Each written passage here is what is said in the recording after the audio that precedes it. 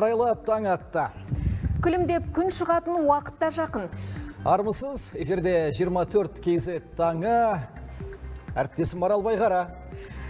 Амансыздар ма, жарияшы Қайрат Саветбекұлы да сіздермен бірге.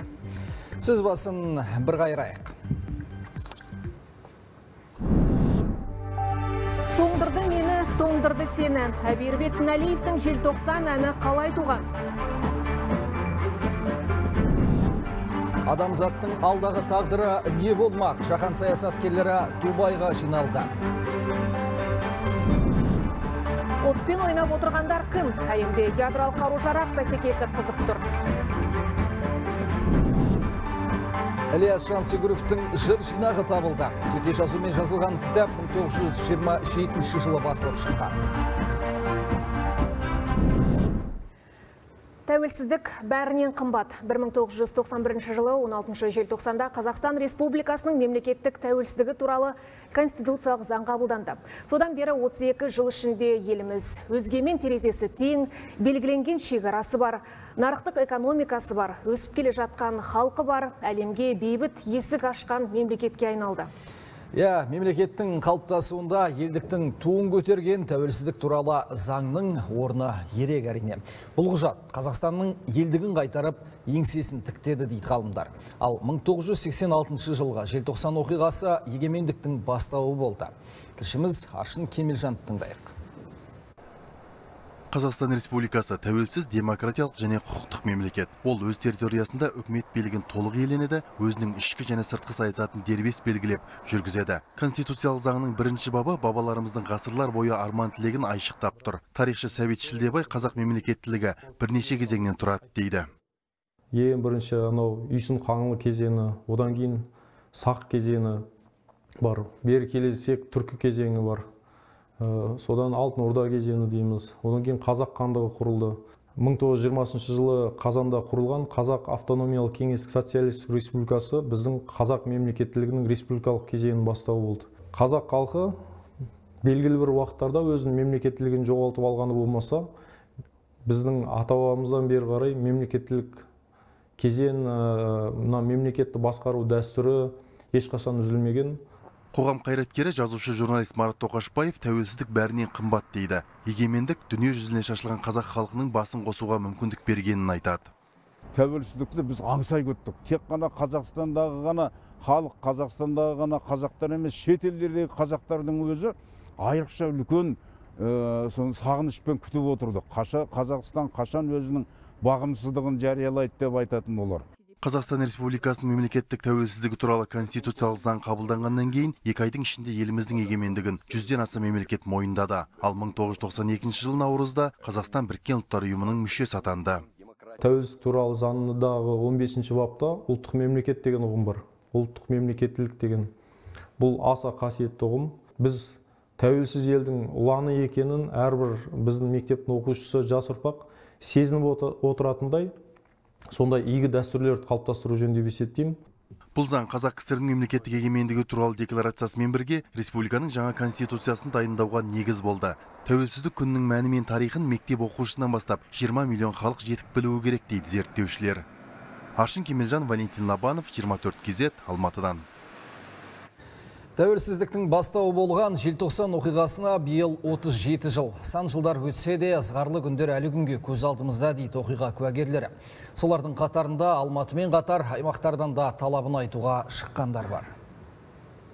Жалпы алаңға 20 мыңға жоқ жас елім деп шықса, олардың 350-ге жоғы жамбылдық қарагөз. Оқиға куәгерлерінің естелігін Мерей Байет тыңдап келді.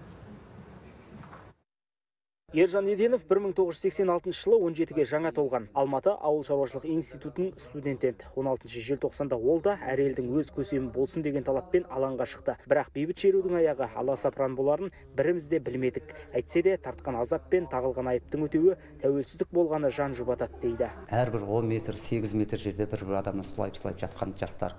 Немен ұрғанын білмеймін. Күрекпен ұрған или дубинкамен или арматурамен ұрған. Сол жерде мен әбден тепкілеп есімнен аударып тастаған есімнен танып қалған басым жарылған қабырғам сынған аяғым сынған. Екі аптадай ма сабаққа бара алмадым. Оқудан шығарып ақыры сөйтіп алматыдағы өмірбаяным солай болған.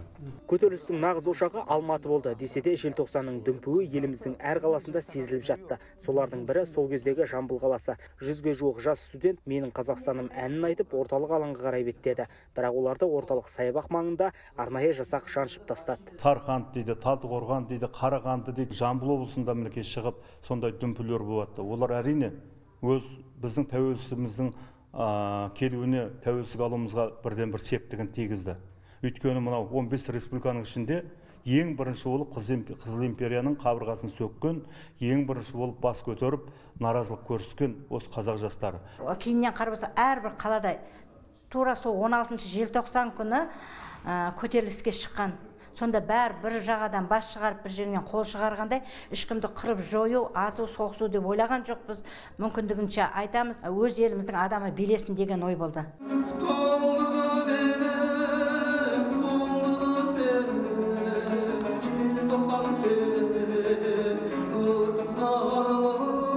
Әнші композитор әбиірбек тінәлінің желтоқсан желі әні оқиға құрбандарына орнатылған ескерткіштей болды. Бірақ туындыны жарыққа шығару үшін тұспалдап сөз астарымен беруге тура келді. Сөйтіп автор 1969 жылдың қысында болған жұтты жазып шықты. Сол күні басталды дегенді естіген күннен бастап маған келді содан кейін барып ол ыңыл үдей бастады үдей бастады. Мына талайы қырылды. Ертең ата ана жылауы бар деген бұл мазмұнда сондай ыңылда сондай жатыр да.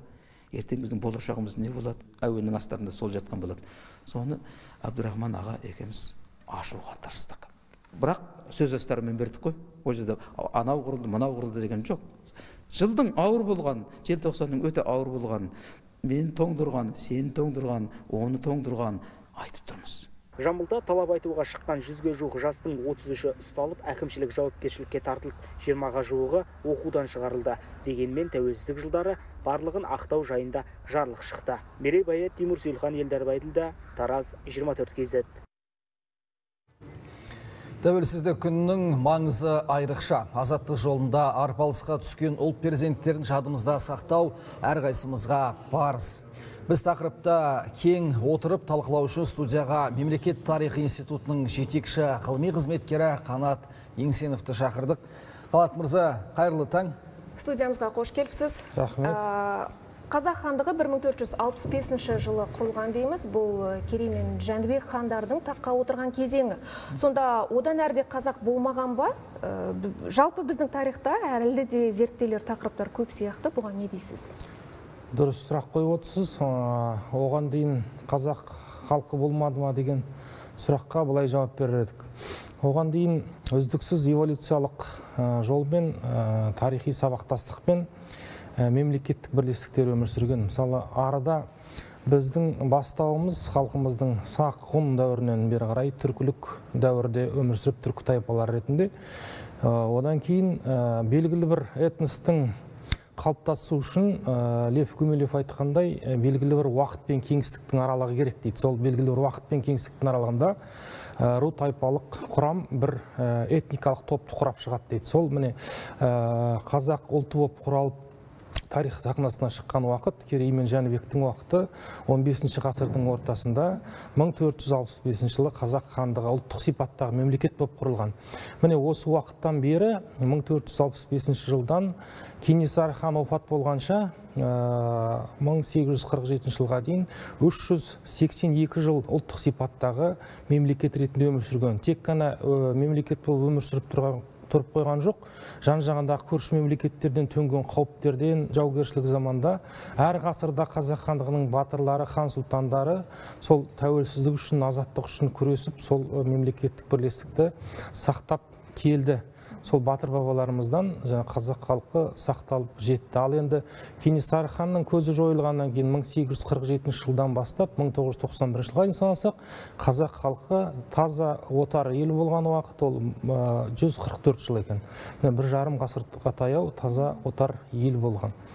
Осындай жаңағы тарихи уақыт мырза жаңа енді өзіңіз тарихты әріден бастап кеттік қой. Кешегі жағы кенесары ханның сырым датұлының әрекеттерін біз ұлт азаттық қозғалыс деп айтамыз да. Мынау 86 жылғы болған желтоқсанды желтоқсан ызғары дейміз. Енді осы тұрғыда бұл қаншалықты дұрыс көтеріліс екенін неге айтпаймыз дейтін сұрақ көкейлерінде тұрады көптің. Енді ә, сырым датұлы ә, алғашқы ұлт азаттық көтерілістің бастауы.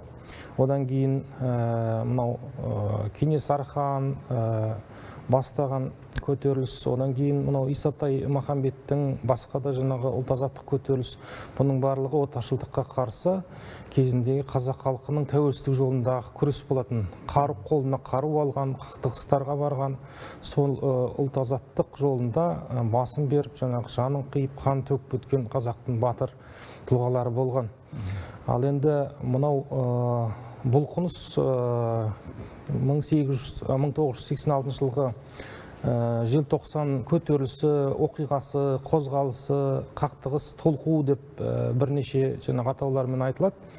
Ә, тәуелсіздіктің алдында осы тәуелсіздік қарлығаштары дейді осы желтоқсанға қатысқан қазақтың батыр ұл қыздары шын мәнінде тәуелсіздікке жол ашқан жаңағы қарлығаштар болып есептеледі.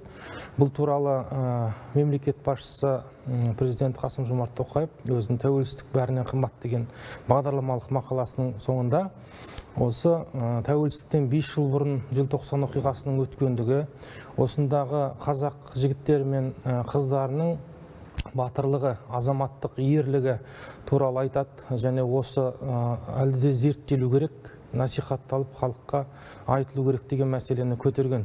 Сондықтан желтоқсан оқиғасының әлі де тарихы толық ашылған жоқ.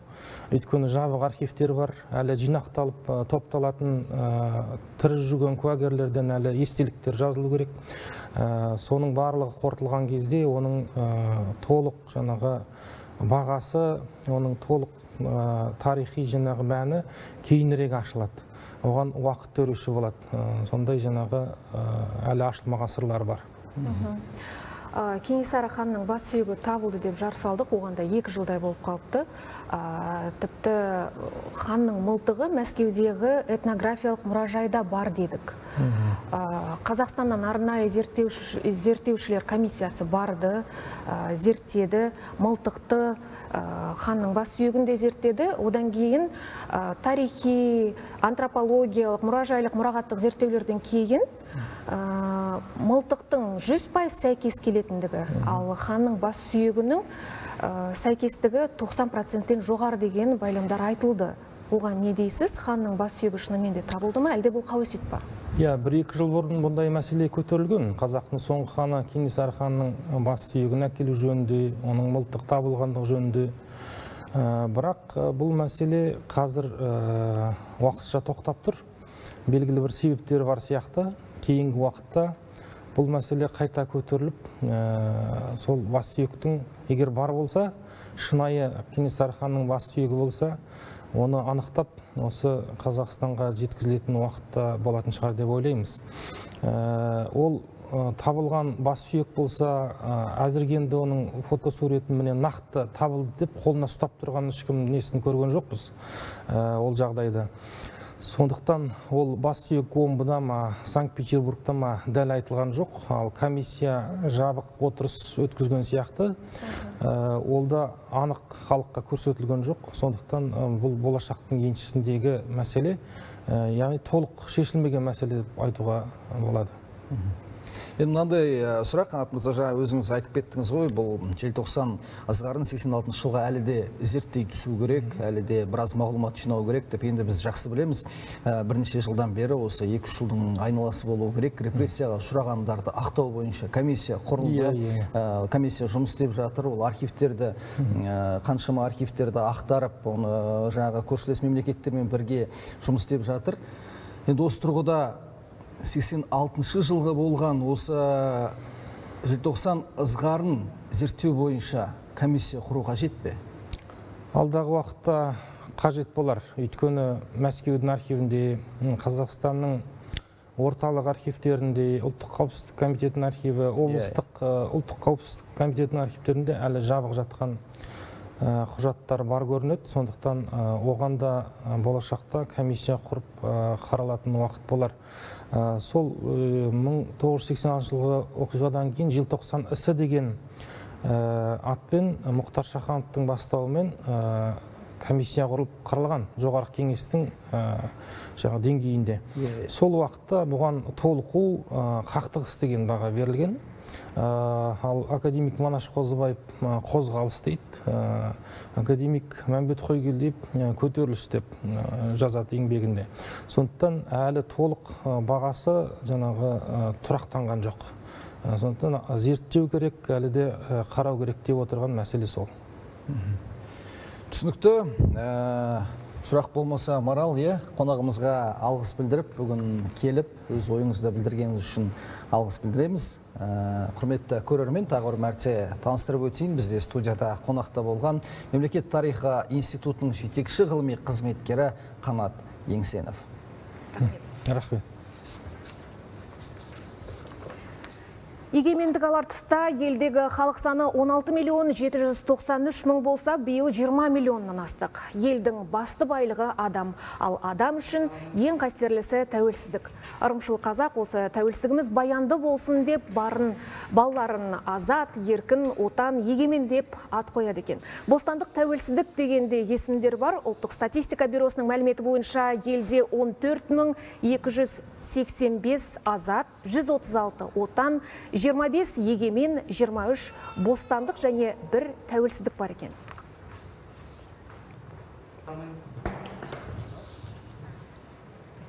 Керемет тәуелсіздік деген есім аз екен көбейе түссін деген тілек бізден енді осы аптада әлем назары дубайға ауды. Жиылғандар адамзаттың алдағы жылдары тағдырын талқылады десек артық болмас.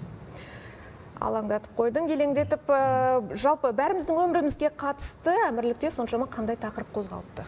Енді бұны марал шетелде өткен жиын жөнінде меніңше ернат мелсұлынан өзінен білсем дұрыс болар. Ернат бұған не дейсіз? Не болды? Марал алаңдап отыр.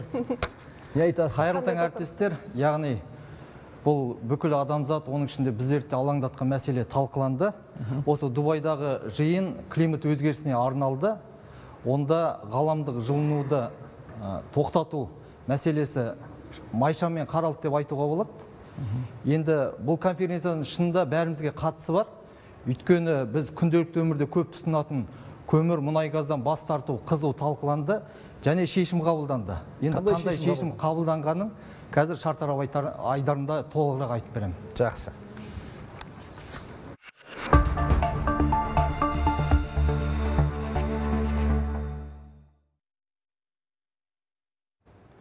Дубайдағы жиынның маңызын түсіну үшін бізге ең алдымен қазба отынның зиянын білген жөн. Мәселен дүние жүзінде ең көп жағылатын отын көмір. Әлемдегі электр энергиясының 40 пайызын көмір станциялар өндіреді. Бірақ зардабы орасан. Көмір өкпе жүрек рак және деменция ауруын тудырады. Еуропа ғалымдарының есебі бойынша көмір өндірісін тоқтату жыл сайын 100 мың адамның өмірін сақтайды. Мамандар әсіресе қазылған орындардың ашық қалуынан залал көп дейді. Мысалы қытайда 7 миллиард тонна көмір қоқысы бар көрінеді. Әлем бойынша 3500 ірі кәсіпорын жыл сайын 100 миллиард тонна зиянды қатты қалдық шығарады. Coal is in fact Көмір адам денсаулығы үшін өте қауіпті. Ол әлемдегі ең лас әрі зиянды отын. Бұдан қазба отын түрлеріне қарағанда көмірден адам екесе көп өледі. Осыдан ақ одан бас тартудың қаншалықты қажет екендігін түсінуге болады. Сондықтан көмірмен жұмыс істейтін электр станцияларына жаппай бір жола тыйым салу керек. Тағы бір зиянды қалдық метан, ол табиғи газдан бөлінеді. Біріккен ұлттар ұйымының мәліметі бойынша ғаламдық жылыну тудырған зиянды қалдықтың 20 пайызы осы метанға тиесілі. Былтыр орташа есеппен ауаға 135 миллион тонна метан газы шығарылған. Біз метанды көре алмаймыз, өйткені оның түсі жоқ. Біз оның өзін және зиян мөлшерін тек инфрақызыл спектроскопияның көмегімен ғана анықтай аламыз. Дубайдағы жиын негізі 30 қарашада басталған. Тараптар бір тоқтамға келе алмай, екі аптаға созылды. Ақыры келісімге келгендей болды. Құжаттың бастапқы жобасында болған қазба отыннан бас тарту деген сөйлем алынып тасталған. Ол біртінде бас тарту деп түзетілді. Түпкілікті меже 2050 жылде белгіленді. Құжатқа 200-ге жуық елдің өкілдері қол қойған. Адамзат ақыры бір келісімге келгендей болды. Бұл шешімді баяғыда қабылдау керек еді. Қазба отынан бас тартуға біртіндеп болсын қадам жасау үшін бақандай 30 жыл керек болды. Енді тездету керек. Жер анамыздың қызуы көтеріліп барады. 30 жыл бойы ортақ мәмілеге келе алмаудың бір себебі Сауд Арабиясы, Қытай, Үндістан, Ирак және Нигерия сияқты қазба отынға тәуелді елдер одан бас тартуға қырын қарап келді. Тіпті экологтар аузын айға білеген ақшта мұнай өндірісі қарқынды өсіп жатқан. Ал Еуропа елдері сұйытылған газды импорттау үшін жаңа терминалдар салуға миллиардтаған ақша бөлгенін айтады. Сауд Арабиясы сияқты мұнай өндіруші елдер келіссөздер қазба отынды емес, зиянды қалдықты азайтуды қаузауы керек деп есептейді. Себебі қазір қара алтын өндіру кезінде көміртегін сүзіп алатын озық технологиялар баршылық. Бізге әрине баламалы энергия көздері қажет, бірақ мұнай газ және атом энергиясынан да бір жола бас тарту мүмкін емес. 2050 жылға қарай жер бетіндегі адамзат саны тағы 2 миллиардқа көбеймек. Олардың бәрін жан жақты қамтамасыз ету үшін орасан зор энергия керек. Жасыл энергетиканы толық орнату үшін әлі де көп уақыт қажет. Бұл суық ақылмен біртіндеп әрекет етуді талап етеді. Қазба отынан құтыла алмаймыз деп ешкімде қарап отырған жоқ. Өткен жылдың әлемдік статистикасына көз салсақ, көп оң өзгеріс бар. Норвегия энергияның 98 пайызын таза көзден алады. Бразилияда бұл көрсеткіш 90 пайызға жуықтап қалған. Үздік үштікті түйіндеген жаңа Зеландияда жасыл энергия деңгейі 86 пайызға жеткен. Ал Қазақстан биылғы жылдың алғашқы үш айын қорытындысы бойынша электр энергиясының 59 пайызын балама көздерден өндірген. 2030 жылға дейін әлем жел және күн электр станцияларының санын үш есе ұлғайту керек. Дубайдағы жиынның қорытынды шарты осындай. Бұдан бөлек көмір қышқыл газы мен метан көлемі қысқарту міндет. Біз әдетте табиғатты аялауымыз керек деп ұрандатуға. Бірақ сөзден іске көшу өте қиын. Өйткені аспан, су, топырақ бәрі бізге ортақ, сондықтан қоршаған ортаны қорғау үшін бүкіл әлем болып жұмылған жөн. Ал бұл оңай емес, Дубайдағы конференция осыны көрсетті. Ең бастысы алға ілгерілеу бар. Сөз сіздерде әріптестер. Рахмет Ернат, мен ойлаймын, жа 2030 жылға дейін біз алдын алып қойған сияқтымыз, өйткені жақсы білесіз, енді қазір келіссөздер жүріп жатыр, ә, белгіленіп қойды біршама жерлер. Бізде жа баламалы энергиядан жасыл сутек өндіру бойынша мынау Маңғыстау маңайында зауыт салу көзделіп отыр. Бұл да жаңағы баламалы энергия осы кім біледі толыққанды енді ауыстырмаса да біршама ауыстыратын шығар иә отынды сол мұнайды бәлкім көмірді деген сияқты. Қазақстанның жер аумағы үлкен ғой сондықтан бұнда күн болсын жел болсын су болсын осы балама энергия көздерін жан жақты қамтуға болады бізде негізі. Жалпы өзіңіз сенесіз бе бала толықтай баламалы энергияға өтуге мүмкіндік бар ма? Өйткені жаңа сіз айтып өттіңіз баламалы энергия көздері дамыған мемлекеттердің барлығы бір жылы континентте орналасқан сияқты да. Мынандай ә, біздегідей сияқты қысы ызғарлы аймақтарда қалай болады екен? Иә бізде географиялық жағынан сан алуан түрлі ғой. Ауа райы жағдайы климат әртүрлі тіпті бүкіл осы ауа райының құбылыстар бізде бар деп айтуға болады. Сондықтан әр аймаққа мысалы қыс қатты болатын жерде соған лайықтап жаз ыстық болатын жерде соған бейімдеп сондай бір балама көздерін жер аумағына аймағына байланысты дамытқан жөн сияқты. Енді сенеміз өйткені қазір жаһанданған әлемнен қазақстан тыс қала алмайды ғой. Бәрібір осы 2030-да ма 2050-де ме бәрібір осыған көшеді. Бәрібір көшетін шығармыз иә. Өйткені шынымен де көшелерді байқасаң мысалға алматыда қазір осы бензинсіз я болмаса жанар жағармайсыз жүретін автокөліктердің қатары көбейіп бара жатыр енді. Бұл яғни тоқпен жүретін көліктердің саны артады деген сөз иә. Ол экологияға жақсы әсерін береді деген сөз. Оны біртіндеп басында енді бәріміз сенбедік. Ол қалай болады ертең? Оны ә, жаңағы тоққа қосып біз оны қалай зарядтаймыз деген сияқты сұрақтар туындап еді. Бірақ қазір көптеп халық түсініп соған келе жатыр. энергияны да бір жерден аламыз ғой. Мысалы yeah. былтыр европада газ болмап еді олар да көмір іздеп кетті сондықтан қашан көшеді екенбіз деп сұрап отырғаным сондықтан. Жаңағы анау жиынның барысында бірден бас тарту емес біртіндеп бас тарту деген Иә, осындай сияқты иә осы негізі конференция 30 қарашада басталғанда басында олар бір жола бас тартамыз бірден бас тартамыз деген екен. Бірақ мынау шикізатқа тәуелді елдер оған қарсы болып ақыр түбінде осындай бір келісімге келгендей болып Иә, отыр енді жаңа бір- еліміз әлем көше жататын шығар. Бірақ мен өз жеке өзім мына көлікпен жүрмеймін осы белсветті қолданамын. Енді белсветті экологиялық таза көлік қой. Сіздерді де шақырамын енді. Иә, қаласа өзіңіз де үлес қосып жүрсіз дейсің ғой. Үлес Иә. қосып жүрміз әлемді аралап жүрміз. Осы тұрғыда айта кету керек біздің әріптесіміз ернат бірнеше мың шақырымдарды осы велосипедпен артқа тастап сонымен ә, саяхаттап жүрген ә, маман. Сондықтан да рахмет ақпарыңызға біз жалғастырайық.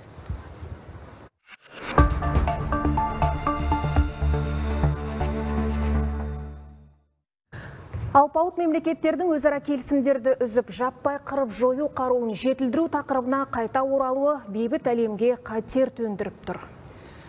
ақшта бас қосқан халықаралық сарапшылар осылай деп алаңдаушылық білдірді қару жарақты бақылау қауымдастығы мен қазақстан елшілігі бірлесіп ұйымдастырған жиыннан тілшіміз айжан сыдықова сөз алады ядролық қаруды таратпау мен бақылаудың жаһандық жүйесі әлемге төнген қауіпті едәуір азайтқан. Бірақ соңғы жылдары жағдай күрт өзгерді. Жаппай қырып жоятын қаруы бар елдердің қарым қатынасы нашарлап бұған дейін жасалған өзара уағдаластықтар бұзылды. Қазір ядролық күштер туралы және баллистикалық зымырандарға қарсы шарттар жоқ. Таяуда ресей ядролық сынақтарға тыйым салу туралы шарттан бас тартқанын мәлімдеді. Қос алпауыт ақш пен ресей арасындағы соңғы келісім қару жарақты қысқарту жөніндегі жаңа стратегиялық шарт 800 күннен соң күшін жояды. Ақш мемлекеттік хатшысының халықаралық қауіпсіздік жөніндегі бұрынғы көмекшісі томас контриман ядролық елдер арасындағы диалогтың үзілуі қауіпті еселей түседі деп отыр. You talk even when you disagree. өзара келісім болмаса да талқылаулар жалғасуы керек. Ешқандай алдын ала шартсыз. Ауқымды кездесулер болмай ақ қойсын. Тек диалог үзілмеуі қажет. Кездесулер ресми болмаса да жоғары деңгейде өтпесе де байланыс сақталуы тиіс. Алып державалар жаппай қырып жою қаруын дамыту жарысына түсіп кетті. Біреу зымырандық қорғаныс жүйесін жетілдіріп ядролық қару жарағын қазіргіден де қуатты ету үшін құр қаржы бөліп жатыр. Оған жауап ретінде келесі бірі ядролық оқтұмсық ұшыруға қабілетті. Дыбыстан 27 есе жылдам деп сипаттайтын құрлық аралық баллистикалық зымыран кешенін шекарасына орналастырды. Сондықтан сарапшылардың айтуынша мұндай тенденцияға әлем болып қарсы тұру керек. Белсенді азаматтар өз елдерінің ядролық саясатын өзгертуге күш салуы тиіс. Бұл орайда қазақстанның жаппай қырып жою қаруына тыйым салу жөніндегі бастамасын қолдау заман талабы. Қазақстан ядролық сынақтарды тоқтату мен ядролық қарудан азат әлем құру жолында көшбасшылық етіп отыр. Енді алпауыттар өзара жарысқа түспей ядролық қару санын шектеуі тиіс. Өзге елдерде қарусыздану ісіне атсалысу қажет. Бұл жаһандық қауіпсіздік үшін және түптеп келгенде әрбір адамның амандығы үшін керек. Қазақстан бастамашы болған ядролық қаруға тыйым салу келісімі екі жыл бұрын күшіне енген болатын. Қазіргі таңда 69 мемлекет шартты ратификациялап үлгерген. Осылайша бұл құжат әлем тарихында алғаш рет ядролық қаруды иеленуге халықаралық құқық негізінде тыйым салды.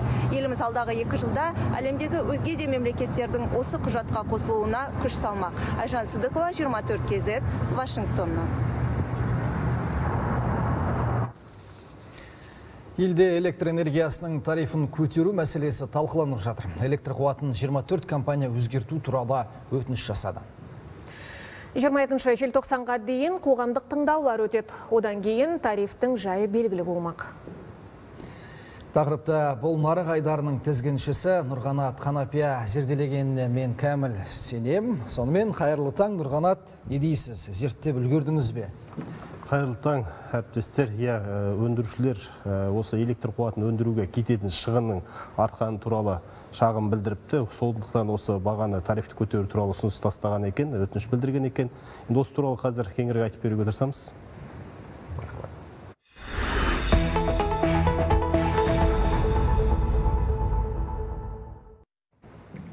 Энергия өндіретін компаниялар тариф көтеру мәселесін отынға кететін шығынның өскенімен байланыстырады. Көгілдір отын да көмір де қымбаттаған. Монополистердің айтуынша отынға табыстың 60 пайызын жұмсайды. Ал одан қалған ақшамен жұмысшылардың жалақысын көтеру қиын. Сондықтан коммуналдық салада білікті кадр тапшы. Аз мұз жалақыға мықты маманның келу екі талай. Сол себепті тариф орта есеппен екі теңгеге өсуі мүмкін. Нақты сома жыл соңында белгілі болады. Алайда сарапшылар тарифті көтермес бұрын компанияның жұмысын тексеру қажет дейді. Бақылау жоқ жерде жең ұшынан жалғасқан сыбайластықтың болуы ғажап емес. Электр энергиясының тарифі 2003 жылдан бері үш мәрте өсті. Алайда тариф қымбаттағанымен өзгерген ештеңе жоқ. Егер біз монополистердің қызметіне қоғамдық бақылау орнатпасақ, осылай жалғаса бермек. Яғни монополистер табысын айналымнан шығарып алады да бюджет қомақты табыстан қағылады. Ал саладағы келеңсіздік жалғаса бермек. Электр энергетика тақырыбын жалғасақ. Биыл энергетикалық қауіпсіздікті қамтамасыз ету үшін бірнеше жоба жүзеге асты. Салаға жауапты министр Алмас Адам Сатқалиевтің айтуынша, Астанада үшінші жыл электр орталығының бірінші кезегі іске қосылды. Осылайша жаңадан қосылған Тұран және оңтүстік шығыс қазандықтарымен бірге сағатына 1140 гигакалория беретін болды. Батыс аймақтың проблемасын шешуге күш салынды. Өткен айда 780 шақырым 780 шақырымдық желі қолданысқа берілді. Бұдан бөлек Қарабатан қосалқы станциясымен бірге бірнеше торапты қосалқы станция іске кірісті. Ендігі әңгіме қоғамдық көліктегі жолақы құны туралы болмақ. Елдің барлық өңірінде жол ақысын электронды түрде төлеуге болады. Көлік министрлігінің ақпаратына жүгінсек, соңғы үш жылда онлайн төлемнің үлесі 80 пайызға жетті. Билет құны әр өңірде әртүрлі. Ең қымбат жолақы Алматы, Көкшетау, Петропавл мен Қостанайда. Бұл қалалардың тұрғындары 100 теңгеден төлейді. Ал ең арзан тариф Жезқазғанда. Ал Астанада жол жүру құны, құны 90 теңге күн сайын орта есеппен 650 мың адам автобустың қызметіне жүгінеді екен. Шотқа қағып көрсек күніне 58 миллион теңгеден астам ақша түседі. Айына 2 миллиард теңгеге жуықтайды, алайда тасымалдаушылардың айтуынша шекелері шылқып отырған жоқ. Елордадағы бұл бір автопарктің өкілі түсіндіргендей табыстың үштен бір жалақыға кетеді. Қазір астаналық жүргізушілердің еңбек ақысы шамамен 500 мың теңге. Тағы бір бөлігі жанармайға жұмсалады. Бұдан бөлек бұзылса жөндеу керек, сайман алу қажет. Сондықтан әкімдік жолақыны субсидиялап отыр. Негізі жолақының өзіндік құны 350 теңге. тариф көтеру мәселесін көтерген жоқ. Қазіргі таңда 90 теңгені құрап отыр дегенмен біз бес қалада республикамыздың бес қаласында проезд жүз теңгеден жүз теңге жүз теңге жоғары болып отыр сол сол себептен де мүмкін болашақта келесі жылы ол сұрақ көтерілуі мүмкін Сөйтіп жол ақысы қымбаттамайды, ал атқарушы билік монополистер тарапына өтініш түскен жағдайда көпшіліктің талқысына ұсынып барып шешім қабылдайды. Өйткені бұл нарық. Әріптестер, әзірге ақпарат осы. Рахмет, Нұрғанат. Ақпаратыңызға рахмет. Біз хабарымызды жалғастырамыз.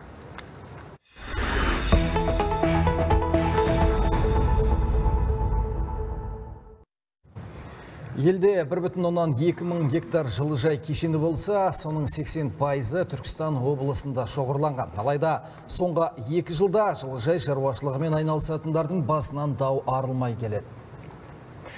Шаруалар субсидия төленсе, көрші келетін арзан өнімдерге шектеу қойылса дейді. Себебі арзан көген жергілікті диқандар өндірген өнімнің өзіндік құнын төмендетеді. Әсіресе қияр мен қызанақ өсірушілердің өкпесі қара қазандай. Тілшімізді тыңдайық. Өңірде жылыжай шаруашылығы тұралап тұр деген диқандардың жанайқайы елордаға жеткендіктен мәселені өз аузынан естейік деп атбасын Сарыағаш ауданына бұрдық. Бірнеше жылыжайға кіріп шаруалардың пікірін тыңдадық. Көп жылдан бері көкөніс өсірумен айналысатын Фахридин Райымжанов өткен жыл шаруаларға оңай болмағанын айтты. Қияр мен помидорды былтыр өткізе алмай қалған жерлерімізде болған. Мынау қошны мемлекеттен кіріп келеді. Бізде мынау көмір расход көбейіп кетті былтыр. Өзін өзін ақтамағаннан кейін істемей қойған жер болды.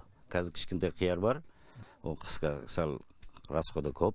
Мен өткізгенімді қиярды жеті жүз теңгеде өткіздім ақырғысы одан кейін өткізгенім жоқ қазір мыңға барған шығар. А помидор бізде қазір жоқ. Бес жүзден бердік ақырғысын жақында да екі апта болды. Мынау суыққа шыдау ұстап тұру расход көп. Диқандар қияр мен қызанақ жылуды көп қажет ететіндіктен қыстың күні өнім алу тиімсіз дейді. Сондықтан көпшілігі қыста шығыны аз көкөніс түрлерін егуге тырысатынын айтады. Ал 30 сотық жылыжайында болгар бұрышы жайқалып тұрған құсмадин ырысметов бағаның көтерілгенін күтіп отыр. Қазір базарда ирандан кіріп жатыр қытайдан кіріп жатыр ирандікіні сегіз жүз елу теңге деп жатыр да. Иран қытайға қарағанда біздікі сапасы жақсы. Енді мемлекет тарапынан қандай қолдаулар бар қандай субсидия алып отырсыздар? Субсидия документтер өткізіп қойдық әлі шыққан жоқ. Негізі береді субсидия береді деп жатыр енді әлі ал- алғанымыз жоқ та. Егуге мүмкіндік бар ма жалпы? Жағдай көмір бәрі жеткілікті ма биыл иә биылға жақсы көмір проблема емес. Субсидия беріліп тұрса істесе болады ғой. Субсидия демекші жыл басында вице премьер серік жұманғарин сарыағашық шаруалармен кездескенде жылыту жүйесімен қамтылған жылыжайларға субсидия төлеуді қарастыратынын айтқан болатын. Осы қиындықтардың барлығын үкімет деңгейінде шешіліп жатыр. Ауыл шаруашылығы министрлігі арнайы бұйрық шығарып бүгінгі таңда өтінім қабылдау бойынша жұмыстар жүргізіліп жатыр. Қазір біздің ауданнан жүз елуге жуық жаңағы жылыжай иесі субсидиялық өтінім берді субсидия көкөніс өндіруші шаруаларға берді түркістан облысында мың гектарға жуық жылыжай кешені бар. Оның жартысына жуығы сарыағаш қалғаны келес сайрам қазығұрт ордабасы аудандарында шоғырланған. Мамандар биыл үкіметтің қолдауымен жылыжай шаруашылықтарын субсидиялаудың жаңа тетігі енгізілгенін айтады. Енді өнеркәсіптік және фермерлік жылыжайлардың жылуға кеткен шығынының 20 пайызын мемлекет өтеп бермек. Фермерлік жылыжайлардың әр гектарына 4-8 миллион теңге ал өнеркәсіптік жылыжайларға 8-1 миллион теңге субсидия төленеді. Қазір фермерлік жылыжайларды стандарттау жүріп жатыр. 685 жылыжайға сертификат беріліп енді олар мемлекеттік қолдауға өтінім тапсыруда. Бүгінге дейін 400 өтініш қабылданған. Бұл сырттан келетін арзан өніммен күресудің тиімді тәсілі дейді мамандар. Қазіргі таңда осы түркменстан мемлекетінен келетін өнімдерге шектеу қойылуда. Қазір өзбекстанның мемлекетінің де осы қазақстандық бағамен бірдей болып тұр. Ол жақта адам күшінің күннің жылылығының әсерінен енді өзіндік құны арзан ғой. Сол себепті енді бізде сол өзіндік құнын төмендету мақсатында жаңа субсидиялау жұмыстарын жүргізіп жатырмыз. Осы жылыжай шаруашылықтарының мәселелерін үкімет деңгейінде көтерудің нәтижесінде бірнеше бағытта қолдау шараларына қол жеткізіп отырмыз. Мамандардың айтуынша көмір мәселесі де шешімін тапқан. Жергілікті билік көмірді тікелей шаруаларға жеткізіп беру бойынша Шұбаргүл акционерлік қоғамымен келісім шартқа отырыпты. Енді ай сайын өңірге 12500 тонна қатты отын жеткізіліп отырады. Қазір облыстағы теміржол тұйығында 46 мың тонна көмір қоры бар. Бұл отандық жылжай шаруашылықтарының бәсекеге қабілеттілігін арттырып, маусымаралық кезеңде республика халқын түрлі көкөніс өнімдерімен қамтамасыз етуге мүмкіндік береді деп сенеміз. Жандос Жұмабек, Ерболат Әбіш, 24 кезет, Түркістан облысынан. Ақтөбе облысында шалғай елді мекендерге интернет желісі жетпей тұр. Себебі байланыс операторлары тұрғын саны аз ауылдарға қызмет көрсетуді тиімсіз санайды. Ал өңірде тұрғын саны жүзге жетпейтін 30 шақты елді мекен бар. Бірақ жауапты басқарма өкілдері бұл мәселе шешусіз қалмайтынына сенімді. Келер жылға қажетті жоба дайындалып, қаржы қарастыруды көздеп отыр. Ал бүгінгі күні облыс аумағындағы 315 ауылдың 236-сы интернетпен қамтылған. Нәтижесінде ғаламтор желісіне қол жеткізгендер көрсеткіші 92 проценттен асты. Енді шалғайдағы елді мекендерге көңіл бөлінбек. Бұған дейін бекітілген жол картасы бойынша жергілікті әкімдіктер қажетті инфрақұрылымын жасақтайды, ал байланыс операторлары базалық станциясын орнатады. Халық саны жүзден төмен елді мекендер. Ол жерлерге байланыс операторлары өкінішке орай бара алмайды. Себебі халық санына олар приоритетті олар халық саны. Ол жерлерге біздерде жоспарлап отырып келесі жылға қарастырамыз общественный wi fi яғни халыққа тегін wi fi таратуды. Мобильный операторлар бара алмағандықтан біздер осы ә, альтернатива вариант қарастырып отырмыз Құрметті көрермен, Марал жаңа енді басынан бері әлемдік климаттың өзгеруін айттық, одан қалды нарықта не болып жатқанын айттық, тарифтер жөнінде айттық, енді кезекті әлем ә, емес, өнер жаңалықтарына берсек, иә? Онымен әріптесіміз Назерке Тоғжан таныстырады. Сонымен Назерке нендей жаңалықтар бар өнер әлемінде? Енді күні кеше Алматыда Айбоз әдеби сыйлығының салтанатты рәсімі өтті. Байқауға еш жерде жарияланбаған 300-ден аса шығарма түскен. Қай қаламгердің аты оза шапты, осы және өзге де мәдениет жаңалықтарын алдағы айдарда айтып берем. Ал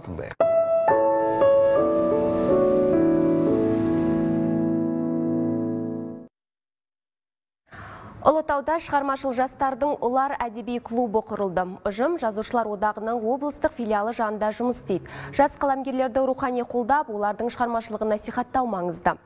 Клуб өнерлі өрендердің басын бір арнада тоғыстырып, ел ішінен жаңа есімдердің шығуына мүмкіндік береді дейді аға, буын. Жас таланттар алдағы жоспары мен міндеттерін нақтылап қойған.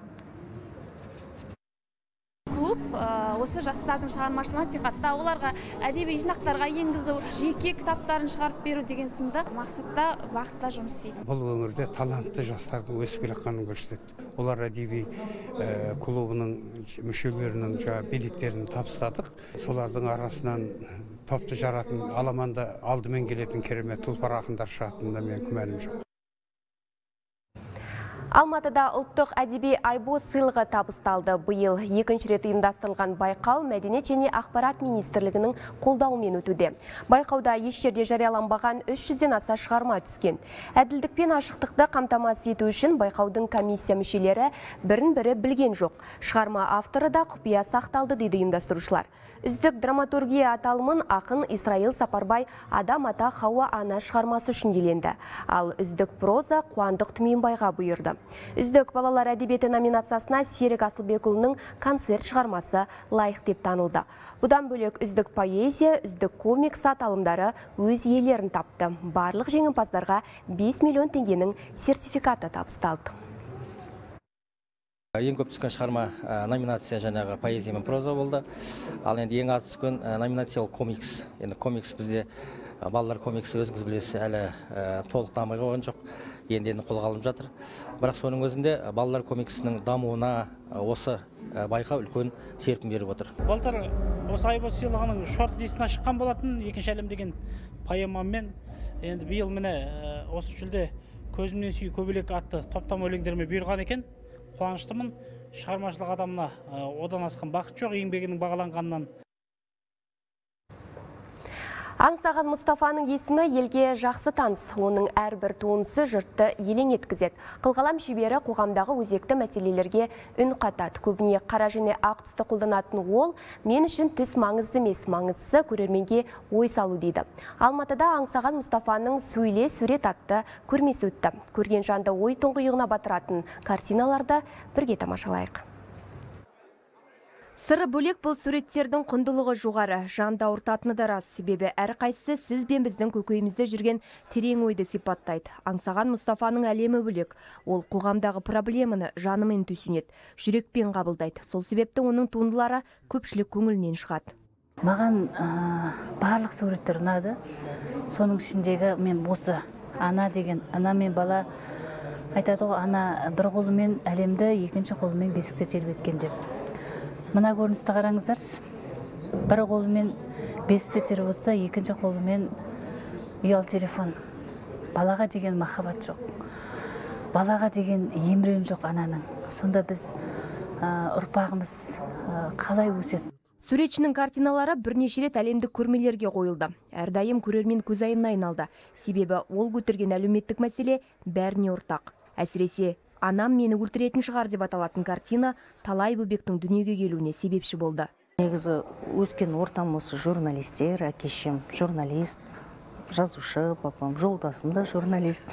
Сосын мысалға жаңағы өткен шақты көп ойламаймын болашақты көп ойламаймын деген сияқты ғой енді. Бүгінгі күнмен өмір сүріп жатырмыз.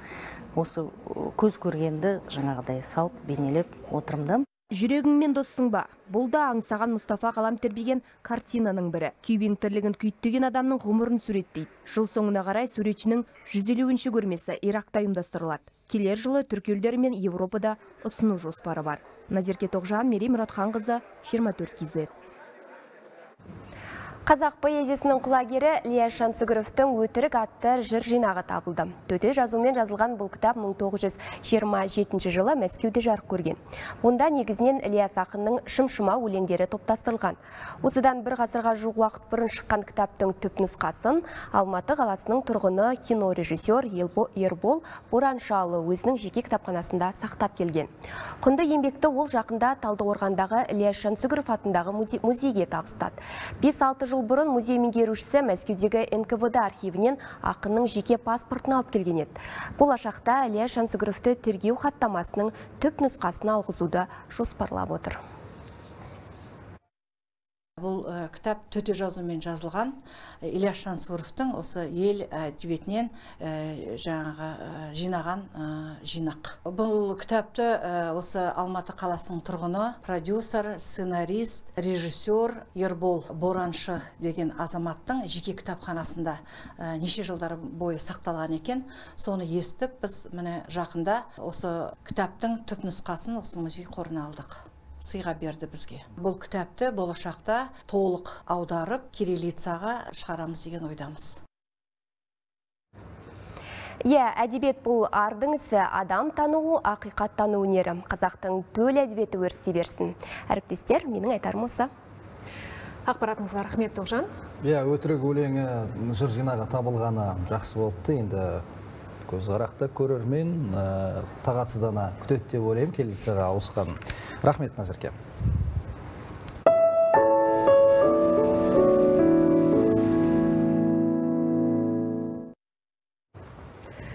Футзалдан әлем чемпионатына, хоккейден әлем чемпионатының элиталы тобына шықтық. Қазақстан спортшылар қалың жанкүйерді жарқын жеңістермен қуантты. Анық қанығын.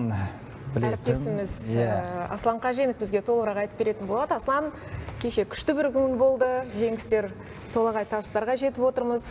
Тағы да қандай жаңалықтар бар, өзіңіз толығырақ айтып берсеңіз.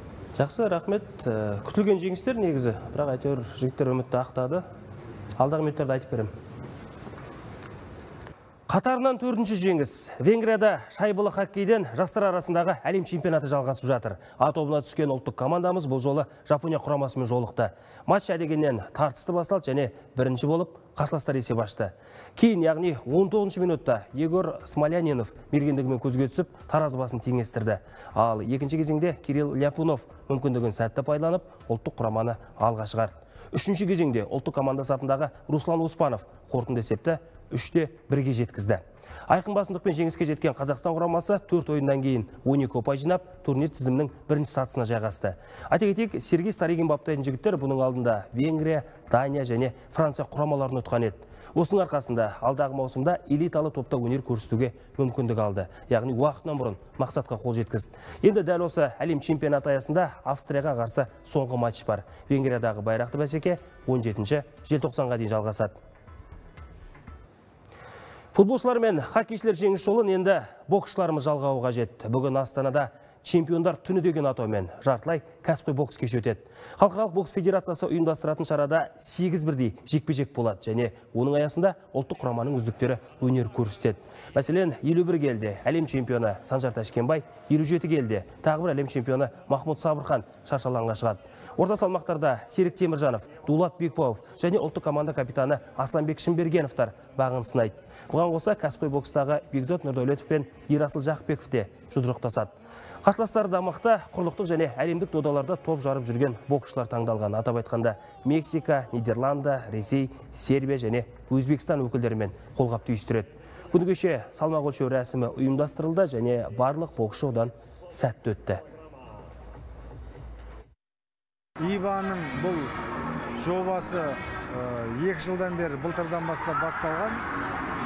Әр елде өтіп жатыр көбінесе енді дубай мен турцияда және ресейде өтіп жатыр былай айтқанда бұл да бір жігіттердің шеберлігін шыңдауға өз үлесін қосады деген ойдамын одан бөлек материалдық жағынан да ақшалай сыйақы бар. Ол да артық болмайтын шығар деп ойлаймын спортшыларға. Қарағанды қаласында дайындалдық. Арнайы осы жекпе жекке қарсыласымыз кубинисті елу жетіде бұл қарсыласты зерттеп әбден тексеріп көрдік. Құдай қаласа ыңғайсыздау. Ну құдай қаласа жеңіске жетеміз. Алла бұйырса. Дайындығымыз өте жақсы. Ал ең басты жекпе жек Өсінов пен Сенегалдық Джабулани Маханси арасында болмақ. Айта кетейік, Данияр ұзақ үзілістен кейін кәсіпқой рингке оралып отыр. Жекпе-жек кеші жартылай кәсіпқой форматта болады, яғни боксшылар 3 минуттан тұратын 6 раундта өзара мықтыны анықтайды. Халықаралық бокс федерациясы жеңіске жеткен былғар қолғап шеберлеріне қомақты сыйақы тағайындап отыр. Данияр біраз бокс жұдырықтаспады ғой. Сол өзінің формасын сақтап тұру мақсатында міне әуесқой боксты да қайтадан көргісі келіп бұл жоба әрі қарай жалғасын таба беретін түрі бар. Осы линия бойынша да мысалы альварес батыргазиев осы жоба бойынша жүріп жатыр ғой. Сол сияқты білмеймін данияр елеусіновтің де осы жақта да бір қызығушылығы бар деп ойлаймын және болашағын көріп отқан жақсы сияқты осы жобаның. Менде бар ақпараттар. Әзірге осы. Сөз кезегі өздеріңізде. Рахмет аслан. Құрметті көрермен айтар ақпар әзірге осындай. Келесі шығарылым сағат 9.00-де 24 кезі таңымен қарсы алған күндеріңіз табысты болсын. Аман сау болыңыздар.